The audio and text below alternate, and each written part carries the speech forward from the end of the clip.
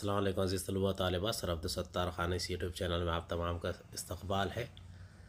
Twelfth history, twelfth तारीख़, हलशुदा पर्चा है, मार्च 2024 गेस पेपर, चलिए शुरुआत करते हैं। सवाल नंबर एक का अलिफ है, नीचे दिए गए मुतबादलात में से सही मुतबादल मंतखब करके जुमले दोबारा ले। लिखिए। छः नंबरात आते हैं, सवाल नंबर एक दस के लिए है। पहला है 1440 में डैश ने छाप खाना शुरू किया। इसका सही जवाब है गटनबर्ग। दूसरा है वास्कोडी गामा डैश मुल्क का जहाजरा था। इसका सही जवाब है अलिफ पुर्तगाल। तीसरा है मराठों ने पुर्तगालियों को डैश के मुहासरे में शिकस्त दी। इसका सही जवाब है फोंडा। अगला है पेशवा बाजीराव अव्वल के छोटे भाई ने डैश को वसई के मकाम पर शिकस्त दी। इसका सही जवाब है पुर्तगीज़। अगला है पानीपत की तीसरी जंग मराठों और डैश के दरमियान लड़ी गई। इसका सही जवाब है अहमद शाह अब्दाली। अगला है लॉर्ड विलियम बैटिक ने डैश की कोशिश की वजह से सती की रस्म के खात्मा किया, इसका सही जवाब है राजा राम मोहन राय। दूसरी आलमी जंग में अमेरिका ने डैश पर पहला आइटम बम गिराया, इसका सही जवाब है हिरोशिमा। सार्क तंजीम का सदर दफ्तर डैश में वाक़ है, इसका सही जवाब है खटमंडू। सवाल नंबर एक का बे है कालम अलिफ और कालम बी की जोड़ियों के हर ग्रुप में गलत जोड़ी को दुरुस्त करके लिखिए। पहला है फर्डिनेंड मेगेलान, भारत में पहुँचने वाला पहला जहाज़रा गलत जोड़ी है, सही है वास्कोडी गामा। दूसरा है फैक्ट्री, फैक्टर्स बनाने का, मरकज़, इसका सही जवाब है, सामान बनाने का मरकज़। अगला है, गलत जोड़ी है फ्रांसिस मार्टिन सही जोड़ी है फ्रांसिस मार्टिन चीज़ चीफ ऑफ़ डच फैक्ट्री।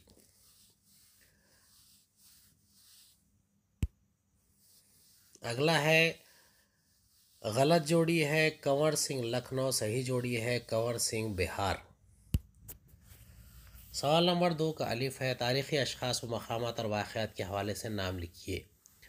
वरा महर की तसनीफ़ करदा, किताब बरहत संहिता भारत में सबसे पहले आने वाली यूरोपीय कौम पुर्तगाल। पहली आलमी जंग में जर्मनी, ऑस्ट्रिया, हंगरी, तुर्की, बल्गारिया जैसे ममालिक का ग्रुप महवरी ग्रोह। दूसरी आलमी जंग के बाद सोवियत, रूस या अमेरिका के ग्रुप में शामिल न होने वाले भारत की पॉलिसी नावाबस्ता तहरीक। अगला है मुतफरक जुज अलग करना है। महाराष्ट्र में अठारह सौ सत्तावन से कबल अंग्रेज़ों के ख़िलाफ़ बगावत करने वाली ज़ातें इसके जवाब है पाइक। अठारह की जंग आज़ादी में शामिल इलाक़े, इसका सही जवाब है हैदराबाद। दी गई वजूहत में से मुनासिब वजह मंतखब करके बयान मुकम्मल कीजिए। ईसाई मज़हब के मानने वालों ने ग्यारहवीं सदी ईस्वी में वक्ता फ़वक्ता सलीबी जंगी की। इसका सही जवाब है ईसाइयों के मुक़दस समझे जाने वाले शहर यरूशलेम और बैतुल्लाहम। इस्लामी हुक्मरानों से वापस लेने के लिए। अगला है गैलीलियो को जदीद तजुर्बाती साइंस का खालिक कहा जाता है, क्योंकि इसने मुशाहे के ज़रिए नज़रिया पेश करने के मुदल तरीक़े को रिवायत दी। अगला है चंद रियासतों के अलावा दीगर रियासतें आज़ाद भारत में शामिल हो, जम हो गई क्योंकि सरदार वल्लभ भाई पटेल ने हमत अमली से इंजमाम का माहदा तैयार किया था। अगला है अनजुस माहे में ऑस्ट्रेलिया, न्यूजीलैंड और अमेरिका के अलावा किसी दूसरे मुल्क को शामिल नहीं किया गया, क्योंकि एक फ़ौजी माहदा था। अगला है छत्रपति शिवाजी महाराज ने नमक की तजारत पर ऑक्ट्राय आयद किया। इसकी वजह है अंग्रेज़ों के नमक की तजारत रोकने के लिए। अगला है, पाइकों ने अंग्रेज़ों के ख़िलाफ़ मुसल्ह बगावत की क्योंकि अंग्रेज़ों ने पाइकों से विरासत में चली आ रही ज़मीनें जब्त कर ली थी। सवाल नंबर तीन का अलिफ है, दिए गए नक्शे का बगैर मुताल करके सवाल के जवाब लिखिए। वास्कोडी गामा समुद्री रास्ते से भारत की किस बंदरगाह में पहुँचा कालीकट? मडगास्कर का जजीरा किस बर अजम बहर अजम में वाक़ है बहर हिंद। फर्डिनेंड मेगलान ने कौन कौन से बर अजम में सफ़र किया है? बहरुल का हल मैक्सिको नामी मुल्क किस बर अजम में वाक़ है? शुमाली अमरीका। इस नक्शे की मदद से किस तरह के सफ़र की मालूम मिलती है? आलमी समंदरी रास्ते और जहाजरानों के सफ़र। दिए गए तस्वराती खाके मुकम्मल कीजिए नौ आबादियात के अरूज की वजूहत। ख़ाम माल की ज़रूरत, जायद सरमाया की सरमाकारी मादनियत के ज़राए मज़दूरों की दस्तियाबी। रियासत जम्मू कश्मीर, राजा हरी सिंह हुक्मरान सियासी रहनुमा शेख अब्दुल्ला, बाईस अक्टूबर उन्नीस सौ सैंतालीस अलहाक, सियासी जमात नेशनल कॉन्फ्रेंस। मराठा अख्तदार की वसत गायकवाड़, बड़ौदा, नागपुर, भोंसले, ग्वालियर, शिंदे, इंदौर, होलकर। अठारह सौ सत्तावन की जंग आज़ादी की लड़ाई के रहनुमा दहली बहादुर शाह जफ़र बख्त खान झांसी रानी लक्ष्मीबाई कानपुर नाना साहब पेशवा लखनऊ मौलवी अहमदुल्ला गोवा जद्दोजहद आज़ादी के अहम कारकुनान Senapati Bapat doctor Francis Mark Nehas Keshavrao Jedhe Mohan Ranade doctor T B Cunha N G Gore Acharya Atre Jayantrao तिलक सॉफ्टवेयर के शोबे में भारत की खुला बरामदाद में इजाफे की वजूहत मरकज़ी हुकूमत की साजगार पॉलिसियाँ भारतीय कारोबारी अफराद की निगाह, कंप्यूटर इंजीनियर इंफॉर्मेशन टेक्नोलॉजी का फैलाव। सवाल नंबर पाँच है, नोट लिखिए, तस्वुरात को वाजह कीजिए।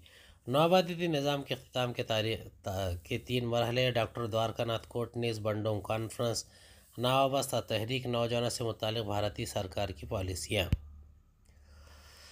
डॉक्टर द्वारका नाथ कोटनिस। डॉक्टर कोटनिस 10 अक्टूबर 1910 को सोलापुर में पैदा हुए थे। इन्होंने दूसरी आलमी जंग के दौरान चीन में काम किया। ज़ख्मी चीनी फौजियों के इलाज के ज़रिए मदद की। जब जापान ने उन्नीस सौ सैंतीस में चीन पर हमला किया था तो चीनी हुकूमत ने पंडित नेहरू को ज़ख्मी चीनी फौजियों की मदद के लिए डॉक्टर की एक टीम भेजने की दरख्वास्त की थी। इस टीम में डॉक्टर कोटनिस चीफ थे। इन्होंने ज़ख्मी चीनी फौजियों की खिदमत की। बदकस्मती से डॉक्टर कोटनिस 9 दिसंबर उन्नीस सौ बयालीस को चीन में ताउन की वबा में फौत हो गए। डॉक्टर कोटनिस ने अपने बेलौस काम की बदौलत हिंदुस्तान और चीन के माबैन दोस्ती का पुल बनाया। नामवर हिंदुस्तानी फ़िल्म साज वी शांताराम ने डॉक्टर कोटनिस की ज़िंदगी पर एक फ़िल्म बनाई जिसका नाम था डॉक्टर कोटनिस की अमर कहानी। इस फ़िल्म ने डॉक्टर कोटनिस की याद को अवधि बना दिया। बैंडोंग कॉन्फ्रेंस, हिंदुस्तान ने उन्नीस सौ सैंतालीस में एशियन ममालिक की पहली कॉन्फ्रेंस तलब की। कॉन्फ्रेंस के लिए 25 एशियाई ममालिक के नुमाइंदे शरीक थे। इस कॉन्फ्रेंस में एशियाई इलाक़ियत का तस्वूर की शक्ल दी गई। इस कॉन्फ्रेंस में एशियाई अवाम को दरपेश मुश्तर मसाइल, एशियाई ममालिक के माशरती माशियर सकाफ़ती मसाइल और एशियाई ममालिक के माबेन बाहमी ताउन की ज़रूरत जैसे उमूर पर तबादला ख्याल किया गया। इस कॉन्फ्रेंस के बाद एशियन और अफ्रीकी ममालिक की पहली कॉन्फ्रेंस उन्नीस सौ पचपन में पचपन में इंडोनेशिया के बैंडोंग में मुनद हुई। इस कॉन्फ्रेंस में अफ्रीकी एशियाई ममालिक के मसाइल पर तबादला ख्याल किया गया और आलमी अमन व बाहमी ताउन पर तोज्जो देने का फ़ैसला किया गया। दूसरा है नवाबादी निज़ाम के अख्ताम के तीन मरहले। पहला है दर्जे वाला तीन नुकात ने नवाबादी निज़ाम के अख्ताम के अमल के तीन अहम मरहले है। भारत पंद्रह अगस्त उन्नीस सौ सैंतालीस को आज़ाद हुआ। ताहम इस वक्त भारत में बहुत सारी देसी रियासतें मौजूद थी। जिन पर मौरूसी हुक्मरान बरतानी इकदार के ज़ैर असर हुक्मरानी कर रहे थे। तीसरा, इन देसी रियासतों को इख्तियार दिया गया कि वो फैसला करें कि इन्हें भारत में शामिल होना है या नहीं। अगर ये देसी रियासतें भारत में शामिल होने से इनकार कर देती तो एक मुतहदा भारत की तश्कील बहुत दुशवार हो जाती। हिंदुस्तान के पहले नायब वज़ी अजम और वज़ी दाखिला सरदार वल्लभ भाई पटेल ने सवाल नंबर छः है, दिए गए बयान की वजूहत बयान कीजिए, कोई तीन। बलाखिर रियासत हैदराबाद का भारत में लाख हो गया। बरतानी हुकूमत ने वतन वापस आने का फ़ैसला किया। अंग्रेज़ और म्यांमार के दरमियान तीन जंगें लड़ी गई। पहले का जवाब है, वजह है पहला नुकता है। स्वामी रामानंद तीरथ ने हैदराबाद स्टेट कांग्रेस का क़्याम करके हैदराबाद के इंजमाम की जद्दोजहद को जदोजहद को एक नई रफ्तार और तहरीक अता की। हैदराबाद स्टेट कांग्रेस ने हैदराबाद के भारत में लाख की खरादार पास की। पास की तीसरा, निज़ाम अपनी पॉलिसियों पर डटे रहे। इन्होंने लाख से मामले पर किसी भी तरह की सालिशें कबूल न की और मुफाहमत के सारे दरवाजे बंद कर दिए। चौथा बर आखिर भारत सरकार को रियासत हैदराबाद के ख़िलाफ़ पुलिस की एक मुहिम चलानी पड़ी, जिसे ऑपरेशन पोलो के नाम से याद किया जाता है।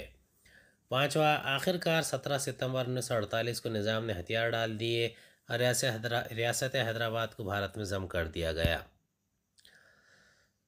बरतानी हुकूमत ने वतन वापस आने का फ़ैसला किया। इसकी वजह अगस्त 1945 को दूसरी जंग अजीम का अख्ताम हुआ। इस जंग में इंग्लिस्तान फतेहयाब हुआ, लेकिन मुआशी एतबार से बहुत कमज़ोर हो गया। नेज़ इंसानी ज़िंदगी का भी बहुत हद तक ख़ात्मा हुआ, जिसके नतीजे में इंग्लैंड कमज़ोर होता गया। भारत में बरतानी हुकूमत अब ये जान चुकी थी कि भारतीय अफवाज और भारतीय लोग पहले की तरह नर मिजाज और मोती नहीं है। अब इन पर हुकूमत करना आसान नहीं है। भारत में बरतानी मसनूआत के लिए अब कारगर भी नहीं रहा। जैसा कि पहले नफ़ा बख्श कारोबारी था, इसलिए इन्होंने वतन वापस आने का फ़ैसला किया। अंग्रेज़ और म्यांमार के बाबाइन तीन जंगें लड़ी गई। म्यांमार ब्रह्मा देश अठ पंद्रह सौ निन्यानवे में पुर्तगालियों ने म्यांमार की एक रियासत के बादशाह को शिकस्त दी। ताम 1611 में म्यांमार में हुक्मरानी करने वाली मुतद सल्तनतें जमा हुई। पुर्तगालियों को शिकस्त दी और अपनी सल्तनत को यकजा किया। मुतहदा म्यांमार ने तोसी पसंदाना पॉलिसी अपनाई। मणिपुर और आसाम को फतह किया, इसका मतलब ये था कि बरतानी हुकूमत का भारत पर हमला करने का ख़तरा था। ऐसी सूरत हाल में बरतानवी और म्यांमार के माबैन तीन जंगें हुई। 1826 में पहली जंग में अंग्रेज़ों ने जीत ली थी और इन्होंने आसाम और मणिपुर पर कब्ज़ा किया था। इन्होंने दूसरी जंग में भी म्यांमार को शिकस्त दी। तकरीबन इसी वक्त फ्रांसीसियों ने अपर बर्मा के इलाक़ों पर कब्ज़ा कर लिया था। तीसरी जंग में अंग्रेज़ों ने भी इस खत्े को फतह कर लिया और पूरे म्यांमार पर हुक्मरानी की। बरतानवी इंतज़ामिया ने म्यांमार को बरतानी भारत के एक सूबे के तौर पर जोड़ लिया। सवाल नंबर सात है, अपनी राय लिखिए। कोई तीन नौ नंबरात के लिए बीसवीं सदी का आगाज़ बर अज़म एशिया की आज़ादी के लिए मुआफ़ हालात पैदा करने में मददगार साबित हुआ। मसला कश्मीर धीरे धीरे एक आलमी मसला बनता चला गया। माहदे वर्सेस दरअसल दूसरी आलमी जंग का आगाज़ साबित हुआ। उन्नीस सौ पचासी में बलाखिर सार्क तंजीम का क़्याम अमल में आया। पाँचवा अमरीका और सोवियत रूस के माबैन सर्द जंग का आगाज़ हुआ। मसला कश्मीर एक आलमी मसला बन गया। सत्ताईस अक्टूबर उन्नीस सौ सैंतालीस को राजा हरी सिंह ने इलाक़ के क़ानून इंस्ट्रूमेंट ऑफ़ एक्स के माहदे पर दस्तखत करके भारत सरकार को सौंप दिया और अपनी रियासत कश्मीर का इलाहा भारत से करने पर रजामंदी ज़ाहिर कर दी। दूसरा, इस तरह कश्मीर की हिफाजत के लिए भारतीय फ़ौजी दस्तों का रवाना किया गया। इन्होंने पाकिस्तानी सरहद से घुसे मुसल्ह दरअंदाजों के ज़रिए कब्ज़े में लिए गए इलाक़ों को दोबारा हासिल कर लिया। तहम, आज भी पाकिस्तान के कब्ज़े में कश्मीर का कुछ इलाका मौजूद है। तीसरा, उन्नीस सौ अड़तालीस में भारत ने मसले कश्मीर को मजलिस अकवा मुतहदा में पेश किया था। इस तरह मसला कश्मीर ये एक आलमी मसला बन गया है। मगर अकवा मुतहदा भी पाकिस्तान के कब्ज़े से भारतीय कश्मीर के मकबूजा इलाके वापस नहीं ले सकी है। अमेरिका और सोवियत रूस के माबैन सर्द जंग का आगाज़ हुआ। इसका जवाब है, दूसरी आलमी जंग ख़त्म होने के बाद, यूरोप की जंग के बाद अमेरिका के पास तामीर नौ के लिए मार्शल प्लान था। इस मनसूबे के तहत अमेरिका ने अकवाम को माली मदद फराहम करना शुरू कर दी। सोवियत रूस ने एशिया और अफ्रीका में आज़ादी की तहरीकों की हौसला अफजाइश करना शुरू कर दी। मशरक़ी यूरोप और मगरबी यूरोप में यूरोप की तकसीम की वजह से अमेरिका और सोवियत सोवियत रूस के माबैन एक सियासी तनाव पैदा हुआ। अगरचे इनके माबैन बरह रास्त जंग कभी नहीं हुई, लेकिन तीसरी जंग का एहसास आलमी सतह पर फैल गया, ताहम दोनों जमातें बाहमी किसी भी तरह से गुरेज करती रही है। अब सूरत हाल ये थी कि अमेरिका और रूस दोनों बार बार एक जंग के लिए तैयार दिखाई देते थे। दोनों तरफ़ तनाव गालिब था। सोवियत रूस का की नज़रिया हुकूमत हुकूमती मिल्कियत के असूल पर मुबनी था और अमेरिका का सरमादाराना नज़रिया निजी मिल्कियत के असूल पर मुबनी था। सर्द जंग सिर्फ़ यूरोप तक ही महदूद नहीं रही, बल्कि ये बर अज़म एशिया में फैल गई। बहरहाल, अमेरिका और सोवियत रूस के माबैन सर्द जंग का आगाज़ हुआ। उन्नीस सौ पचासी में ढाका में सार के क़्याम के बारे में मालूम लिखिए। बांग्लादेश के वज़ी अजम मुजीबर का ख्याल था कि बर अज़म एशिया की माशी और समाजी तरक्की के लिए एक तंजीम होनी चाहिए। मुजीबर के तस्वुर को अलमी अमल जामा पहनाते हुए बांग्लादेश, भारत, पाकिस्तान, भूटान, श्रीलंका, मालदीव और नेपाल के खारजा सेक्रेटरी की एक बैठक उन्नीस सौ इक्यासी में कोलंबो में हुई।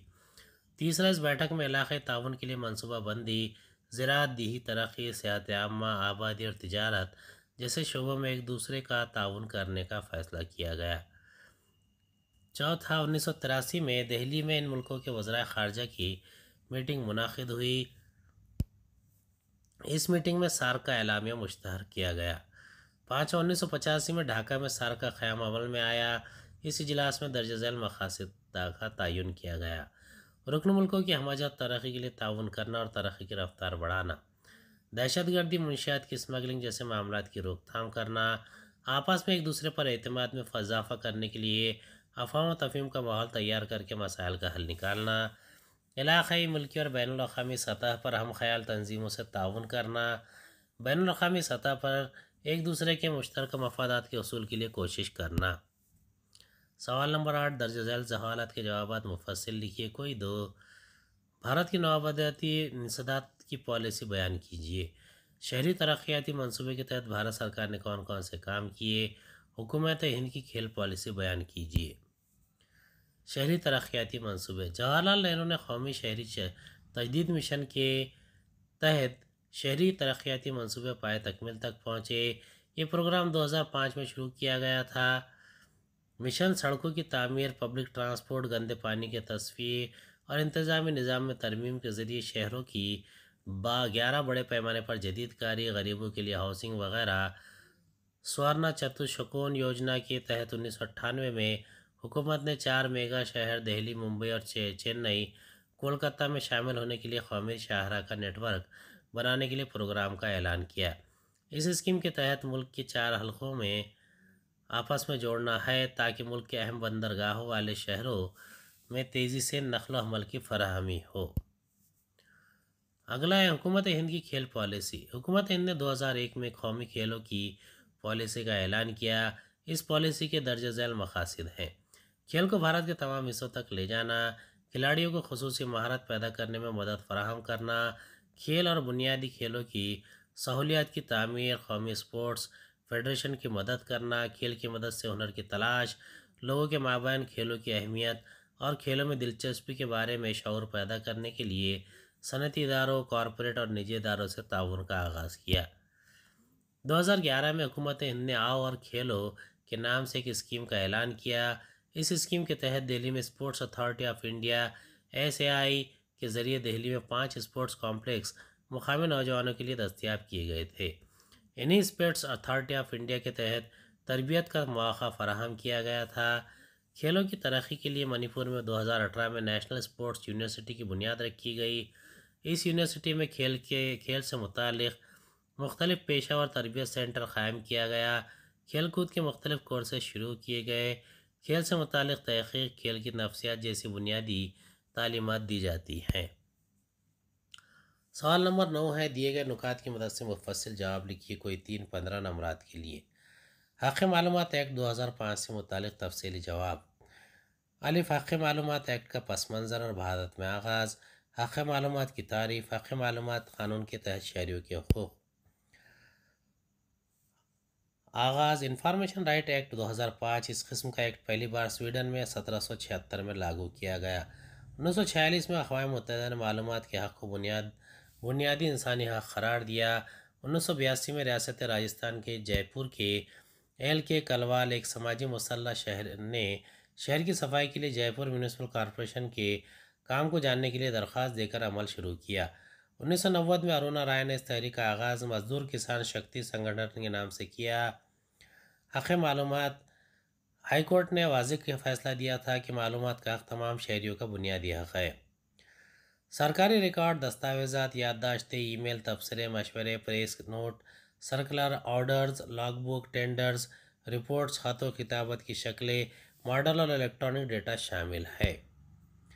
इस एक के तहत शहरीों के हकूक़, किसी निजी इदारे या किसी फ़र्द की मालूम जो किसी भी अवामी इस्टेबलिशमेंट के रिकॉर्ड में दस्तियाब हैं मालूम के हक़ से सरकारी दस्तावेज़ात, रिकॉर्ड, इनकी कापियाँ हासिल करने की इजाज़त, नोट लेने, हवाला निकालने मजाज नवाद के नमूने लेने और CDs floppy disk, tape, video cassette या किसी और में महफूज करदा डेटा के प्रिंट्स हासिल करने की इजाज़त है। फार्म या कंप्यूटर पर ज़ख़ीरा, हर शहरी किसी अवामी अथॉरिटी की इंफॉर्मेशन ऑफिसर को दरख्वास्त जमा करवाने के बाद मतलूबा मालूम हासिल कर सकते हैं। इस एक के तहत एक आम आदमी भी म्यूनसिपल कौंसिल सरकारी ऑफिसर और दफ्तर की मालूम हासिल कर सकता है। अगला है बर अज़म एशिया में नौआबादीती निज़ाम के अख्ताम के बारे में जैल के नुकात की मदद से मालूम फ्राहम कीजिए।